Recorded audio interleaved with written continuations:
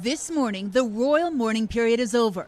The King's new cipher has been released, and the royals, including the Prince and Princess of Wales, are back to work, visiting the nation of Wales for the first time since receiving their new titles. They're starting their visit in Anglesey, taking the time to strengthen their relationship with communities across Wales, according to Kensington Palace. Kate and William are now the two most popular members of the royal family, stepping up to serve the new king.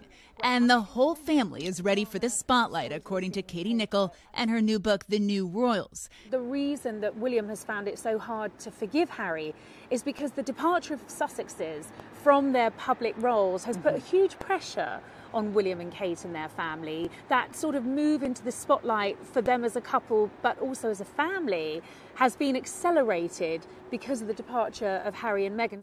The crowds two weeks ago welcomed the reunion of the so called Fab Four brothers William and Harry and Kate and Meghan, all united in grief. But it was a highlight many didn't expect. We didn't imagine all four of them to be together, but I think that was the Queen's last wish. King Charles honoring his heir, Prince William, but also his youngest son. I want also to express my love for Harry and Meghan as they continue to build their lives overseas. And through the week leading up to the state funeral, the country's two beloved brothers side by side. Almost reminiscent of a time where the foursome was wildly popular.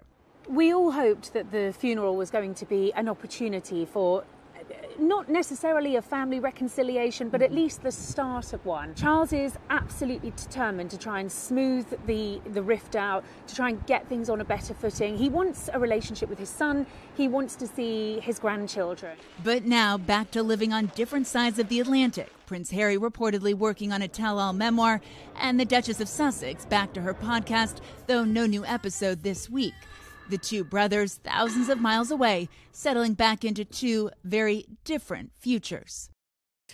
And Molly, a lot of things changing with King Charles taking over. The anthem changed and then the currency changed. So, any idea when we'll start seeing King Charles on the money there?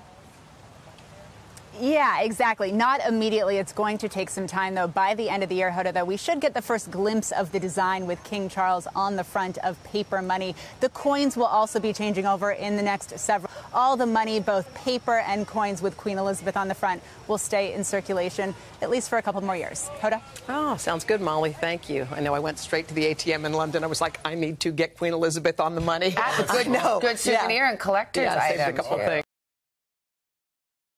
Hey, thanks for watching our YouTube channel.